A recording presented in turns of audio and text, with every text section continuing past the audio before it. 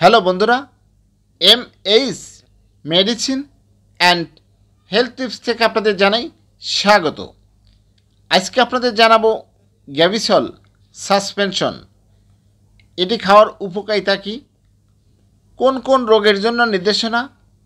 Pharmacology, মাত্রা ও সেবন বিধি, প্রতি নির্দেশনা, পার্শ্ব প্রতিক্রিয়া, গর্ভাবস্থায় ও স্তন্যদানকালে খেতে পারবেন কি না সতর্কতা, দাম বিস্তারিত জানানোর চেষ্টা করব। একটু সময় নিয়ে আমার এই ভিডিওটি দেখুন। অবশ্যই উপকৃত হবেন। Gavisol suspension. এর মূল উপাদান রয়েছে সোডিয়াম অ্যালজিনেট, সোডিয়াম বাইকার্বনেট এবং ক্যালসিয়াম কার্বনেট।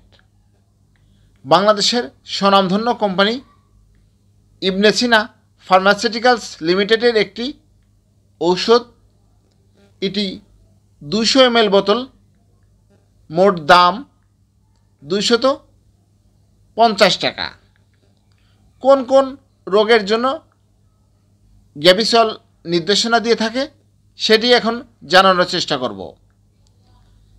নির্দেশনা, ইহা gastric reflux heartburn gastric reflux, সমন্বিত, প্লুটেলেন্স, গর্ভাবস্থায় হার্টবার্ন, অ্যাপিগ্যাস্ট্রিক, পীড়াজনিত যে কোনো গ্যাস্ট্রিক রিফ্লাক্স উপসর্গে নির্দেশিত। আমরা সহজ কথায় বলতে পারি, যারা গ্যাস্ট্রিকের সমস্যায় ভুগছেন, তাদের জন্য গ্যাবিসল সাসপেনশন খুবই কার্যকর। ফার্মাকোলজি, ইহা সিস্টেমিক সার্কুলেশনের মাধ্যমে কাজ করে না।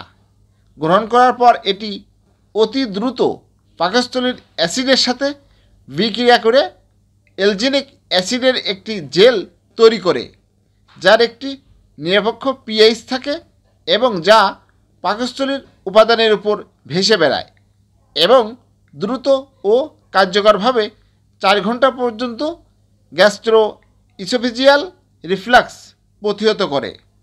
গুরুতর ক্ষেত্রে এই জেলটি পাকস্থলীর উপাদানের চেয়ে অগ্রাধিকার ভিত্তিতে রিফ্লাক্স হয়ে ইসোফেগাসের অভ্যন্তরে উপশমকারী প্রভাব বিস্তার করে। মাত্রা ও সেবন বিধি। এটি মুখে সেবনের জন্য বারো বছরের অধিক ও প্রাপ্তবয়স্কদের ক্ষেত্রে দশ থেকে বিশ মিলি প্রতিদিন চারবার পর্যন্ত খাওয়ার পর এবং শোবার সময়। ছয় থেকে বারো বছরের শিশুদের ক্ষেত্রে পাঁচ থেকে দশ মিলি প্রতিদিন চারবার পর্যন্ত খাওয়ার পর এবং শোবার সময়।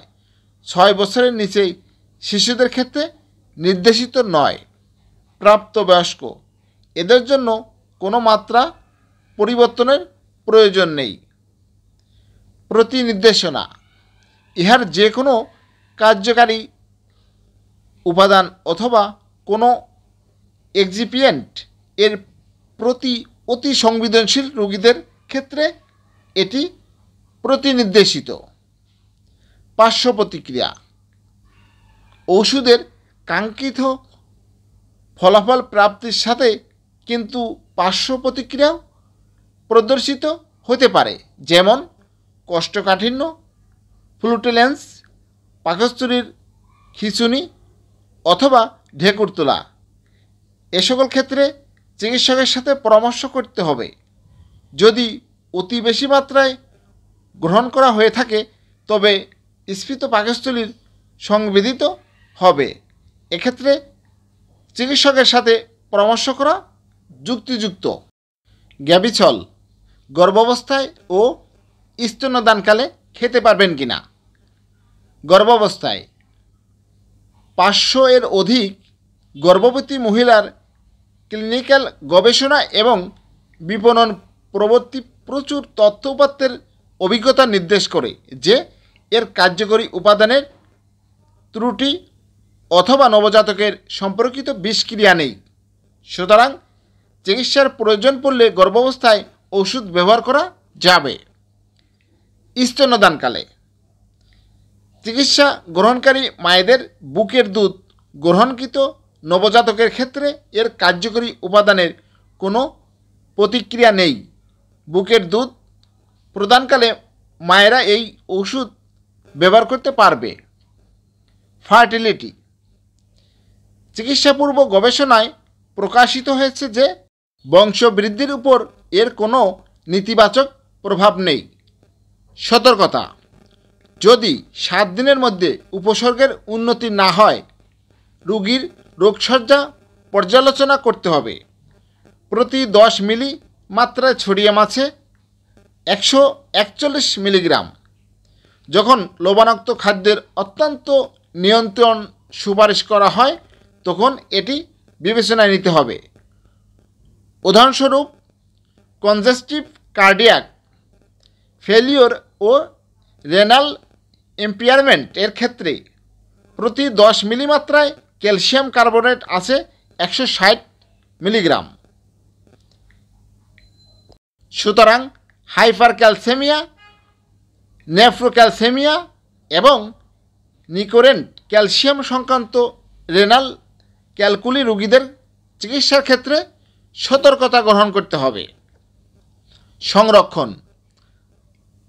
গ্যাবিসল ওষুধটি আলো থেকে দূরে, ঠান্ডা ও শুকনো স্থানে রাখুন। তিরিশ ডিগ্রি সেলসিয়াস তাপমাত্রায় নিচে রাখুন। সকল ওষুধ শিশুদের নাগালের বাইরে রাখুন। এই ওষুধ হিমায়িত করা যাবে না। হ্যালো বন্ধুরা, আরেকটি বিষয় অবশ্যই মনে রাখবেন, যে কোনো ওষুধ ক্রয় করার পূর্বে মেয়াদ আছে কিনা, দেখে ক্রয় করবেন। সুস্থ থাকার জন্য অবশ্যই চিকিৎসকের পরামর্শ নেবেন। সুস্থ, সবল থাকার জন্য বেশি বেশি বিশুদ্ধ পানি পান করবেন। পানির কোনো বিকল্প নেই। আর একটি বিষয় অবশ্যই মনে রাখবেন, যে কোনো রোগের জন্য, যে কোনো ওষুধ খাওয়ার আগেই অবশ্যই বিশেষজ্ঞ ডাক্তার দেখিয়ে ওষুধ সেবন করবেন। আজকে আপনাদের গ্যাপিসল সাসপেনশন এই ওষুধের উপকারিতা সম্পর্কে জানালাম, কোন কোন রোগের জন্য খেতে হয়, মাত্রা ও সেবন বিধি পার্শ্ব প্রতিক্রিয়া প্রতি নির্দেশনা গর্ভাবস্থায় খেতে পারবেন কি না সতর্কতা এবং সংরক্ষণ বিস্তারিত আপনাদের জানানোর চেষ্টা করেছি।